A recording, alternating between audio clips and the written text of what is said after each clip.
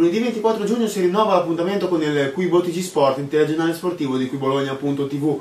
Partiamo subito da una notizia molto importante perché Jessica Rossi ha vinto la medaglia d'oro nel tiro al volo ai Giochi di Mediterraneo di Mersin. La campionessa olimpica, nonché portabandiera azzurra, infatti è nata a, Crevalcore, in provincia di Bologna, e ha battuto in finale la spagnola Fatima Galvez con il punteggio di 13 a 12.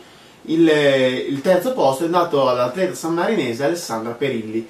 Cambiamo argomento, parliamo adesso di calcio perché abbiamo due notizie riguardanti il Bologna Calcio. La prima è che il club felsineo stia continuando a parlare, a trattare con la Roma per il riscatto del numero uno Gianluca Curci, nonostante i numerosi infortuni che ha avuto in questa stagione. Però il club giallorosso ha fatto sapere che non farà né favori né sconti sulla cifra trattata all'inizio.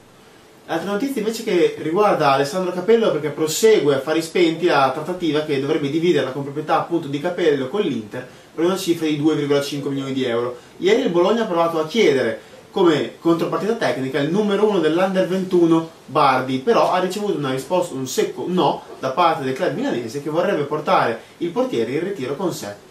Con questa ultima notizia si chiude l'edizione odierna del Quibo TG Sport, io vi rimando un appuntamento a stasera per stare aggiornati con le notizie sullo sport locale. Grazie per l'ascolto e a presto.